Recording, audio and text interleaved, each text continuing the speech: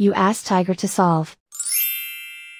This deals with linear equations with one unknown. The final result is j equals 615. Let's solve it step by step. Isolate the j. Multiply both sides by 15. Group like terms. Multiply the coefficients. Simplify the fraction.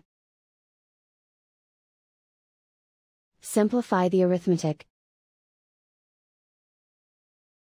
And so the final result is j equals 615.